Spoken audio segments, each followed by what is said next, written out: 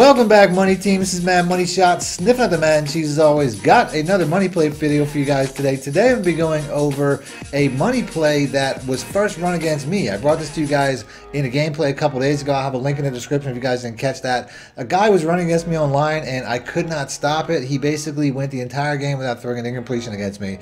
So I had to take it into the lab. I had to find out what he was doing, uh, and I figured out not only what he was doing, but I figured out how to make the play even better. The play that he was running against me was essentially essentially a lot of dink and dunks that I couldn't stop. But I essentially took that play in the lab and found out how to one play just about every single defense in the game. So as always, if you guys want to see more videos like this, do me a favor, hit the like button, let me know in the comment section, or just help me out with a like just because it helps out my channel. I really appreciate that. Now the play itself is out of the gun bunch offset and the play is called the double post. Now, this particular play is in four different playbooks. It's in the Dolphins, it's in the Eagles, it's in the Colts, and it's in the Panthers. I'm using the Dolphins because I had a request for the Dolphins playbook. That's how it works. If you guys let me know in the comment section what you want to see, a lot of times it results in me making videos about it. And since I saw that I wanted to make a, a video about this play anyway, and it was in the Dolphins, I was like, okay, I might as well make a full scheme about it, and that's what I'm doing. So, like I said, I'm going to first start off with the double post. Now, if you saw the original video breaking down this offense, this video is going to have additional plays, new plays, and post-patch cover 3 won't play touchdowns that the original video didn't have. So make sure to stick around for that. On the defensive side, I'm going to pick random because I'm going to start off showing you guys a way to play this that you can just basically dink and dunk and run it all game. And then I'm going to show you guys individual ways you can run this to home run every defense. So the way that my opponent was running this, and like I said, it was pretty good. It's not it's not the first time I've seen this trick. It was pretty easy to figure out. All he was doing was putting the RB route in a drag. That was really what gave the most issue was the drag and I think it's called a table route, which is what the, the running back is running. They essentially act like double drag. So one of those guys will always be open.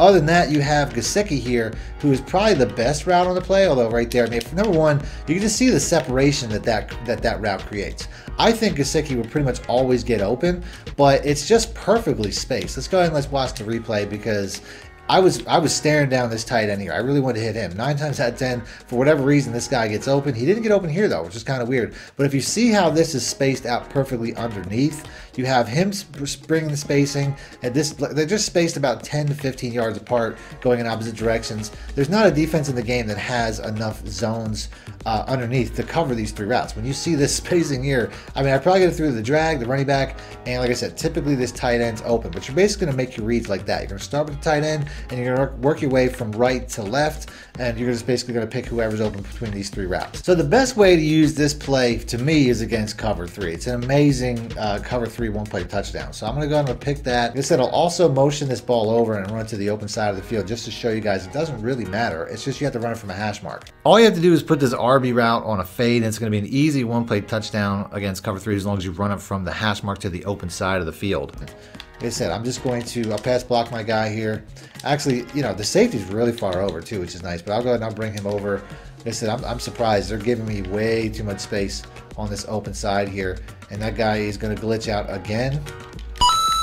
And we got an easy one play touchdown. Now you see the separation wasn't quite there. And if I didn't have Jalen Waddle running that, there's a pretty good chance that he would not have gotten past. So that's why, like I said, it's really best Typically, you want to run plays to the open side of the field, especially when it comes to cover three.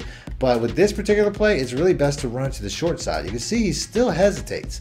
He still kind of flips his hips, and then he does, you know, this is something that EA, uh, for whatever reason, these zones do. They just kind of spread out. But you can see it's still going to have success. As long as you have a speed advantage, you're still going to get past that. This play can beat cover four drop and cover four palms, but it does in different ways. We're going to pick that. Um, all you really have to do against cover four drop is put the X route here on a on a smoke route. That's all you really have to do. I, I can put this guy here on a streak just to try to pull coverage back and block my running back. All these things are not really important. But the RB route will get past that cornerback pretty easily, which he really shouldn't be able to do. Now, you do need an elite speed receiver for this to work, but if you have a guy like Tyreek Hill, you're playing regs or something like that, which is essentially what I'm in, um, you know, Jalen Waddle, you can see that you can have success. But ultimately, um, this is not something that's going to work in in MUT, I would say. Uh, but you can definitely, um, you know, this is definitely something that uh, you can have people pulling their hair out online. You can see, like I said, once again, if you have an elite speed guy, you're going to get past that cornerback, which you really shouldn't do. But it's really based off the fact that you have such a speedy receiver coming across Um, let's go. Let's go to the replay. I mean, this this this cover four cor- uh, corner here is really just reacting to that. He's just kind of you know not really fully committing to his zone, and then this guy here just comes running across so fast he just gets behind him. So like I said, don't necessarily try that in MUT but online regs, you'll have success as long as you have a fast enough receiver. Also has a lot of success against cover four mats, which is cover four palms, cover four quarters, stuff like that. This play here, uh, against cover four, I would say the best thing to do would be to motion out the running back again and just put them, uh, both the X route and the running back on uh, 10 yard comeback routes. That's all you like to do. Block the A route, and that's all she wrote. The RB route will just smoke any safety across the field. Now, there's some pressure there. That's the only downside to motioning out that running back. Let's go and let's do that again. You can see that he was past it. Cover four quarters is pretty easy to beat if you know how.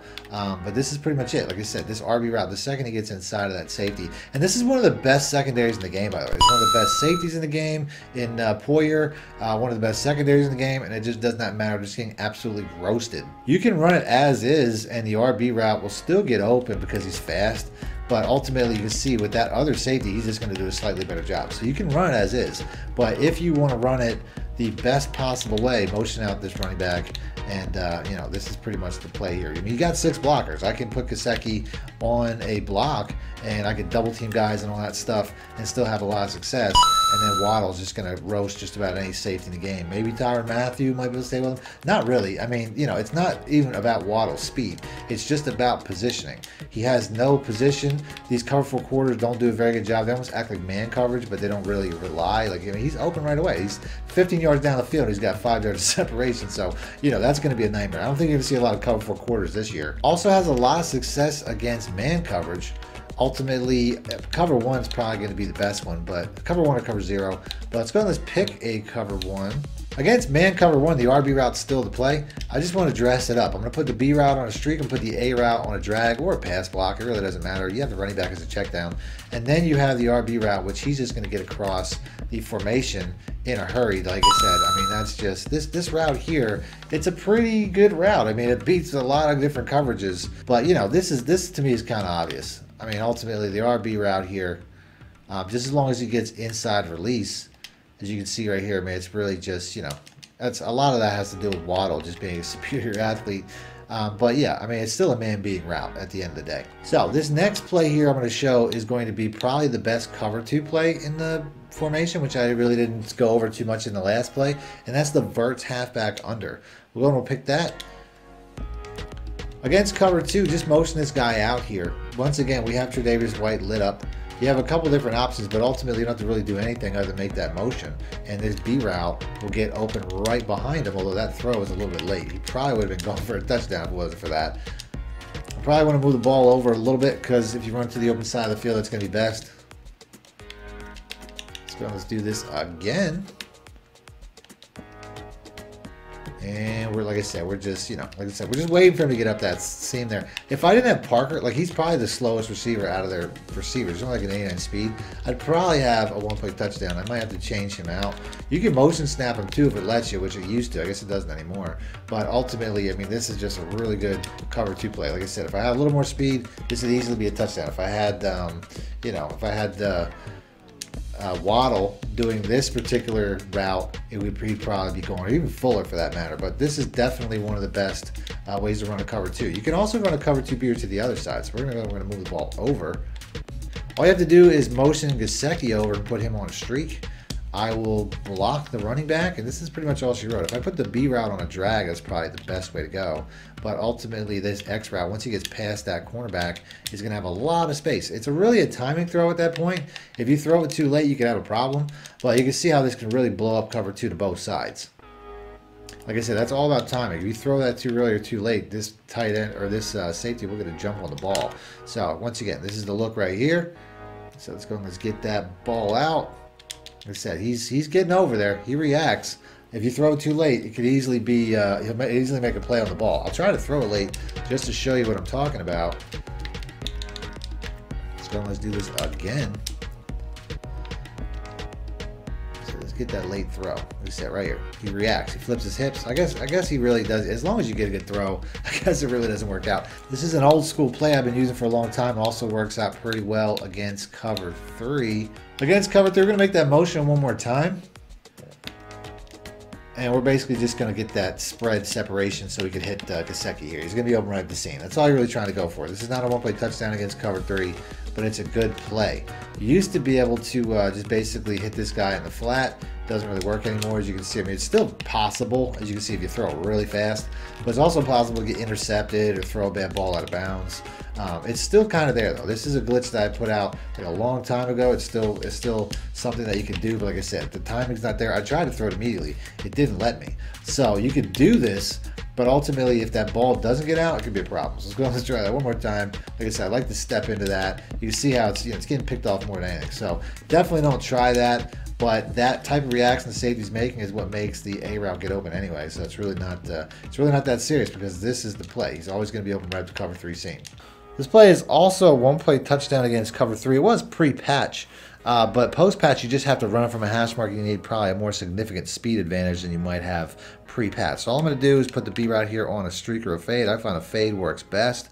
And then I'm going to slide my protection uh, so I can roll in the direction of the throw a little bit because I find that this play here really works best uh, just as long as you don't bullet. You used to be able to get it past the cornerback, bullet, and pass it outside. Now you kind of have to just kind of throw it right the seam. But you can still see it's an easy one-play touchdown, whether it's pre-patch or post-patch. Another play that I noticed is a very glitchy one-play touchdown uh, against cover three, and that's the bunch trail. This play is going to work against just about any defense. But let's go and let's pick that and let's start off with cover three. Now this play here has a lot of really good man beating routes, but we're going to focus on cover three first. Now against you know, before the patch came out, it would have been best to run it to the open side of the field from the hash mark. Now it's best to flip it. Now it's best to run it from the hash mark to the short side of the field. You're going to see why. I'm going to put my X route here on a streak or a fade. I still find the fade is best because it gets around uh, zone chucking. And that's pretty much all she wrote. I'm just going to block my run back, give myself a little X protection. And you can see how this cornerback here really dumbs out as he just basically just gives up a very easy one-play touchdown because he kind of turns his attention back to the underneath receiver on the corner route. That doesn't work to the open side of the field. Like I said, only works to the short side. Let's go let's watch the replay. Like I said, this year, I don't know what was going on there. It had him starting off differently. This year, like I said, the, the he goes around the zone chuck, which is important. And then you can see how this cornerback just completely dumbs out and leaves this um, receiver here, uh, you know, butt naked, just run down the field where the safety's not even reacting. I mean, this is ridiculous. Typically, they dumb out and the safety takes over. But on this play here, he doesn't react at all. As you can see, he just basically is just running by himself in space.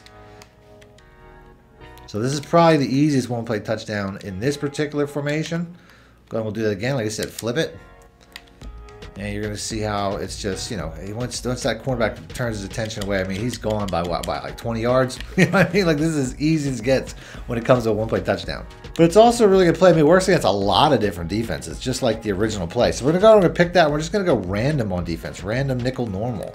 All I have to do is put the B route here on a streak, and uh, the A route's a really good man beater. I'll block my, my running back. The A route's a really good man beater. Uh, I don't know if we'll get man, but we have two really good man beating routes. With the A route and the corner route are both really good man beating routes. So those routes will beat everything. If I leave it as is, every one of these routes in the bunch is a, is a man beater. But if I want to get some more zone beater concepts, streaking the B route will make that happen. I can also motion this guy in. Uh, if it's a cover two man, I can leave him on that route and he'll get open against cover two man, especially if I shorten it. But I think it's best just to put him on a drag. Give myself that check down back. Uh, it looks like we're to have that again. Like I said, I have multiple routes here that beat man again, all going in the same direction. So very easy to beat man with this play. But again, zone coverages, the RB route should have success just as long as I get some here. Here we get a cover two zone. So we finally get a zone coverage. It's to have the same effect though against cover three and cover four. Because cover threes and cover fours, the outside cornerbacks typically react to the deeper routes. So you can see right here, I mean, I guess that was another man coverage, but we're just having success. Man or zone, this route's pretty much going to get open against all of it. And then you have a lot of man checkdowns with all the other routes. Next up, we got the Z spot. Against cover two, all you really want to do is put the B route on a streak. This is essentially a cover two uh, play. The, the RB route I mean, the right side is really all about cover two. The left side is going to be more of a cover three side. But if you just do this adjustment pretty much every time, you're going to have the RB route will be your cover two beater, the A route and the Y route will be your cover three and four beater, and then the X route will be a good man beater. So this play really has something for just about every single play, uh, just as long as you just make that simple adjustment. Just put that guy on a streak. I'll show you guys what I'm talking about when it comes to the other defenses. Really a simple, basic concept. It's been the game a very long time. um, and you know has a lot of success. So we're to do this one more time. Like I said, I'm really just watching. When it comes to cover threes, these underneath guys will be open for some easy catch and runs.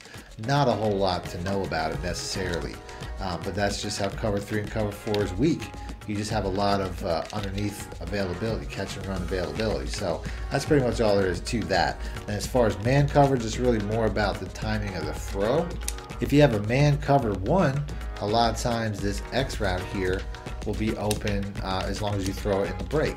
Um, as far as cover two goes, the uh, the stop and go is typically the look. Now I can also throw to the ground a little bit. That'd be a little bit better there. I did do a low pass, but I wasn't really on timing. As far as cover one goes, this uh, this corner route is going to be one of the better ones. You throw it in the break, low pass it a little bit. Typically, it'll be a good throw. That wasn't a great throw um, as I just didn't really set my feet. But ultimately, um, you know, this outside this outside route here, the, the, corners don't really turn their, their head in this year's game. Uh, as far as the other, you know, stop and go route goes, that's really more of a cover two play. I'll go ahead and I'll pick that here in a second. Against cover two, this X route doesn't typically get the outside position needed, but you can see it still beats cover two man as well as cover one man. So I would say just about anytime you see a man coverage, the X route would probably be the way to go. As you can see, that corner route just gets released. As long as you throw it in the break, it typically gets outside uh, and makes an easy play. So that's it. That's the video. If you guys want to see more stuff from the Dolphins, as always, hit the like button. Let me know in the comment section. Other than that, thanks for watching, man. We shit out. Need more help or just want to show your support? Then head over to my Patreon and join my team, where you can get exclusive content like ebooks and bonus plays, as well as early access to my vids and more. Link in the description below. Thank you.